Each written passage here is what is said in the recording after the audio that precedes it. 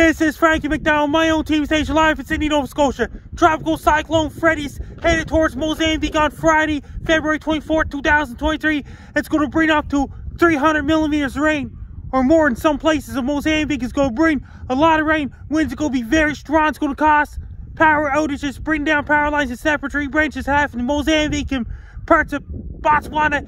It's going to head towards South Africa as well, Zimbabwe, Mozambique, Botswana, and parts of South Africa. It's going to bring Tropical Cyclone Freddy. It's going to bring mudslides, landslides. It's going to bring really bad, dangerous winds that could bring down power lines, knocking off power, snapping tree branches, happen, snapping telephone poles, happen.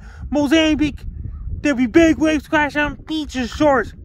Said to Tropical Cyclone Freddy is coming from Madagascar, Africa. It's headed right for Mozambique and South Africa on Friday, February 24, 2023. It's going to bring heavy downpours, wind driven rain, sideways rain.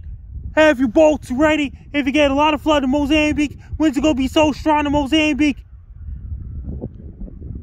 And the cyclone's going to strike Mozambique on Friday, February 24, 2023 in Mozambique time zone. People in Mozambique, be prepared. Have your rubber raincoats, raincoats ready when you go outside. Wear your regular rubber raincoats to keep you dry.